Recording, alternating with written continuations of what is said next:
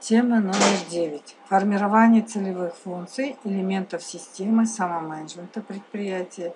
А, мы взяли ООО XXX на примере предприятия.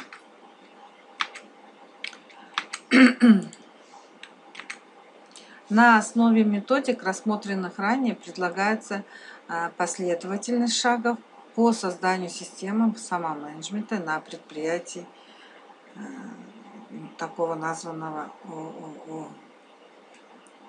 Повышение качества времени сотрудников. Отдыхать в течение дня нужно ритмично, 5 минут в час. Чем сильнее будет переключение во время 5 минутки отдыха, тем лучше сотрудники отдыхают и восстанавливают силы. Шаг первый. Прописать в положениях об отделе продаж возможность ритмичного отдыха работников – отдела в течение рабочего дня, создать условия для максимально возможной смены обстановки во время пауз. Мотивация эффективной работы, использование якоря для эффективного включения в работу. Что такое якорь? Это любая материальная привязка. Например, скажем, музыка, цвет, слово, движение, ритуал и так далее – связанное с определенным эмоциональным состоянием. При необходимости настройки на задачу целесообразно включить нужный материальный якорь и ввести себя в соответствующее эмоциональное состояние. Самый часто используемый на практике якорь – это музыка. Для ежедневного мотивирования на выполнение нужных задач сотрудникам – отдела продаж. Использовать таблицу регулярных дел. Шаг 2. Введение сотрудникам отдела продаж таблиц ежедневных дел с последующим отчетом по ним руководству в конце каждого месяца. Для полноценной работы подразделения важно видеть процессы решения наших задач каждым сотрудником и их взаимодействие. Поэтому необходимо разработать доску планирования для отдела продаж на основе метода структурирования внимания. А, цели. Шаг третий. Четко сформулированные цели для сотрудников отдела продаж. Пример цели для сотрудников отдела – не допускать ни одного случая ухода заказчика по причине неполучения вовремя договоров и других договорных документов. Ответственным за исполнение назначить начальник отдела продаж. Второе.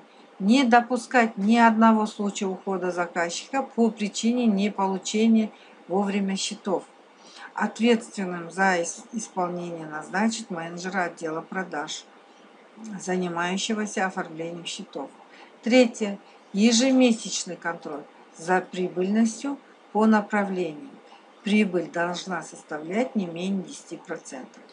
Ответственным за исполнение назначить начальник отдела продаж. Третье. Четвертое. Валютный контроль. Дополнительные соглашения по переносу сроков оплаты должны вовремя передаваться в бухгалтерию и банк ответственным за исполнение назначить начальник отдела продаж. Например, пофамильно вы назначаете. Соответственно, с бухгалтерией. Ответственный бухгалтер должен тоже быть.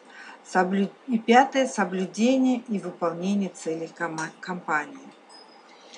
Организация рабочего дня. Организация рабочего дня для отдела продаж а, предприятия достаточно сложна – так как все быстро меняется. Но планы и нужны для ситуации, когда все меняется. План существует не для того, чтобы загнать себя в жесткие рамки и не реагировать на изменяющиеся внешние обстоятельства. Что такое план? План – это способ ориентироваться в изменяющихся обстоятельствах. Шаг четвертый. Все сотрудники отдела продаж должны иметь четкий организованный план рабочего дня. Для организации рабочего дня используют следующие правила.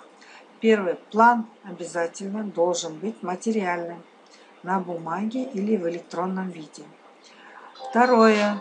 Задачи, не привязаны к конкретному дню, планируются на специальной закладке или на стикерах, прилеп... при... прилепляемых страницам.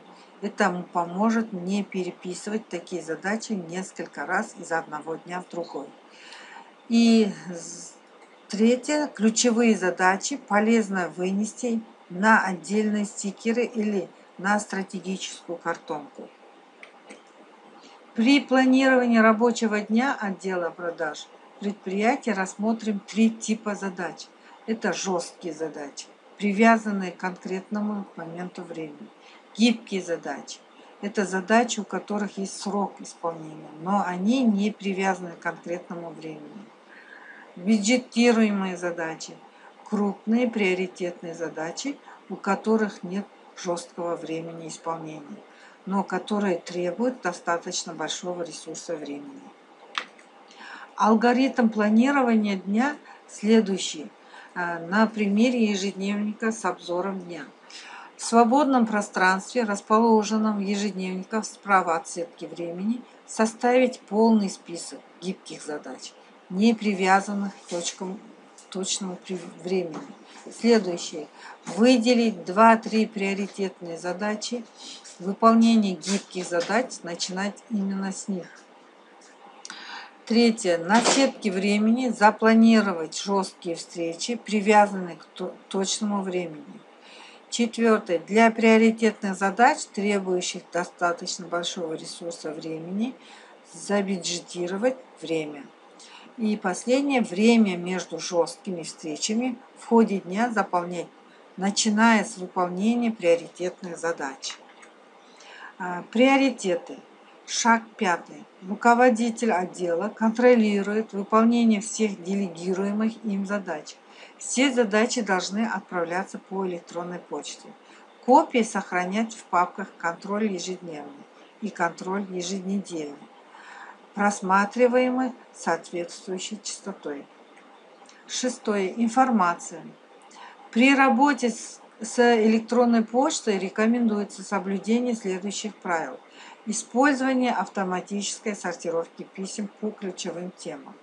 Входящий контроль – ежедневный контроль, еженедельный, справочные контекстные папки. Обязательное указание темы писем. Получивший электронное письмо без поля, тема имеет право стереть его, не читая. Часы приема почты, например, указываете 12, 15 или там 17 часов. Шаг седьмой. Введение и анализ хронометража. Хронометраж, учет и анализ расходов времени характерен для отечественной традиции организации времени. Пример хронометража дня для руководителя отдела продаж предприятия представлен а, в таблице. Таблице представлен процесс учета еще и до начала анализа полученных данных. Создает, создает позитивный стресс –